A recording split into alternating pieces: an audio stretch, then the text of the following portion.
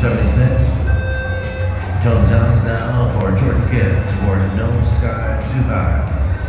Uh, Dallas, Texas. Show now. So three remaining. 276.